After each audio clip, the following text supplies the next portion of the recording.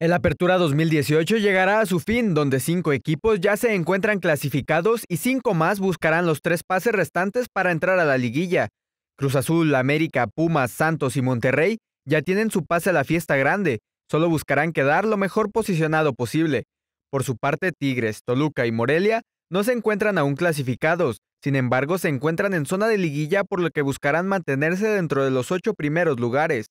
Chivas, Puebla, León, Lobos, Tijuana, Necaxa, Atlas y Veracruz ya planean el clausura 2019.